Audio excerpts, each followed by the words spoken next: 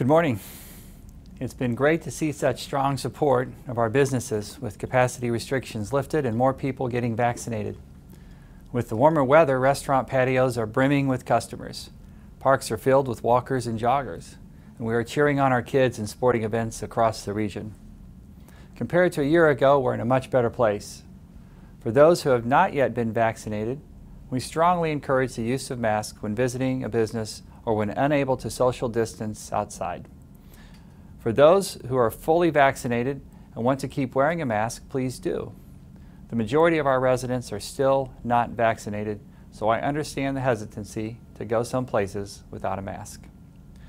Some businesses are encouraging masks, so please be respectful of the employees and customers in those businesses.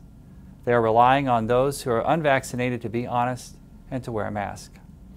Our businesses are trying to operate safely, and we want them to be successful. We ask everyone to do their part.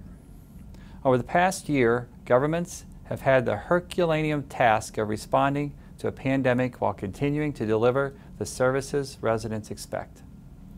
Last year, St. Louis County received $173.5 million in CARES Act funding to assist us in our response.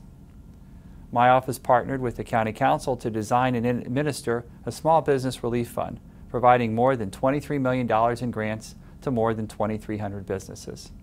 From the beginning of the pandemic, St. Louis County committed to supporting municipalities, and we set up a program to help them with costs related to COVID-19 response and recovery. 86 of our 88 municipalities applied for and received a total of $46.6 million. Our municipalities were hit with unexpected expenses during the pandemic, specifically in public safety. Providing these funds to municipalities and ensuring services were available for county residents was a top priority. We also distributed more than $10.5 million to nonprofit partners for food security programs, $5.9 million for child care programs, $9.5 million for humanitarian relief funds, and $5 million to the St. Louis County Library to purchase Chromebooks and hotspots for students and GrandPad tablets for older adults. We also provided $7 million in housing stabilization. As the pandemic continued into 2021, it was clear help with rental and utility assistance was pressing. It was a growing need. On January 5th, the Treasury Department launched Emergency Rental Assistance Program and St. Louis County received $29.7 million.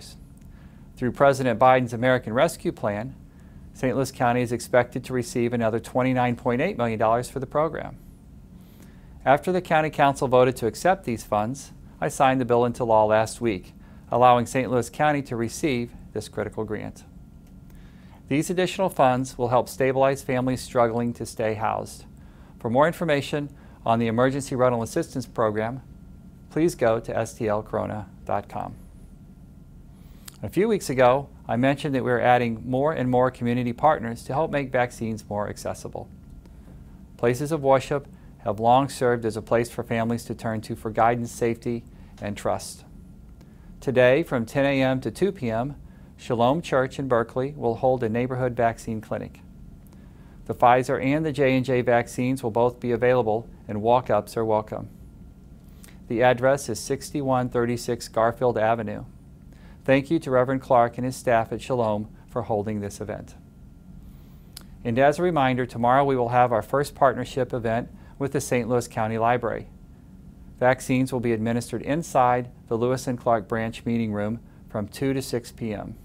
The address of that branch is 9909 Lewis and Clark Boulevard in Moline Acres. Vaccines are free and no appointment is necessary. This will be the first in a series to be offered at St. Louis County Library branches over this spring and summer. The St. Louis County Department of Public Health will be staffing the event along with members of the North County Fire and Rescue and the library system. Tomorrow's library event will include book giveaways and a visit from the St. Louis Metro Market, a nonprofit mobile farmers market. We continue looking for community partners. The health department can provide the vaccine and the vaccinators. All you need to do is provide the place and a group of folks who would like the vaccine. And if you'd like to become a vaccine partner, you can find more information at stlcorona.com. Thank you, and I'd be happy to take any questions. Dr. Page, we don't have any questions submitted today. Okay, thank you.